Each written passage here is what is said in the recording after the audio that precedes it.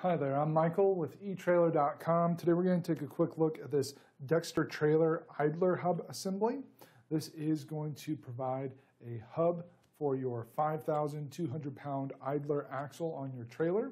Uh, this will provide not only the uh, hub, but also all of the uh, components that you see here that you'll need to get the hub installed and uh, operating properly. The hub itself is a nice sturdy iron construction.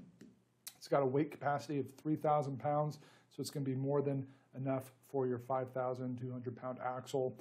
Um, this is made here in the USA, so you can trust it's made to the high quality standards that we've come to know and trust for products that are made here in the US. This will work for your 14 inch to 16 and a half inch wheels.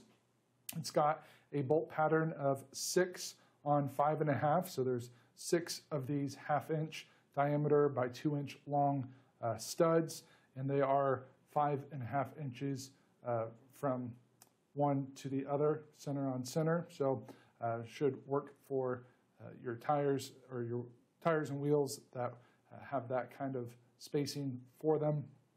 Uh, this is also going to include your inner and outer bearing.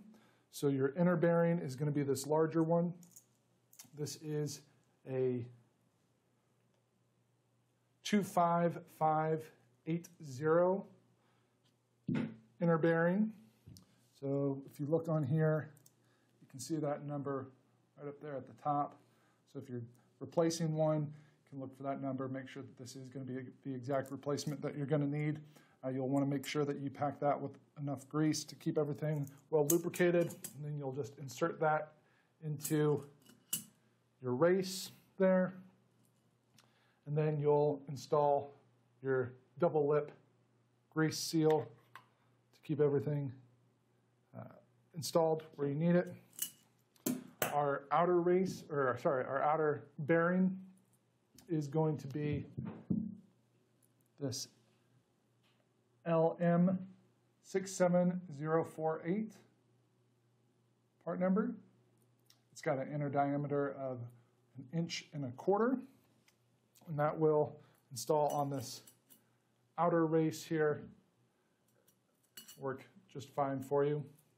Now that grease seal that I pointed out, that is going to be a double lip grease seal. So you can see kind of on the black portion there, got kind of a division there. And the spring on the back side allows you to have tension on that inner lip. This has an inner diameter of two and a quarter of an inch and an outer diameter of about three and three eighths of an inch.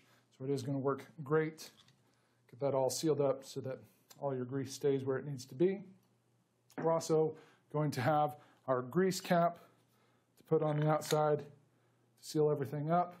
And of course, our six half inch 20 lug nuts that will allow us to connect our wheel to our hub here so that our trailer can work properly. So this is just going to be the one side of your trailer. If you're needing to replace both sides, you'll obviously need a second set. Uh, but everything that is listed here is going to work together to allow you to uh, have your 5,200 pound uh, idler axle operational again. So that's going to complete our look for today. Again, I'm Michael with eTrailer.com. Thanks for watching.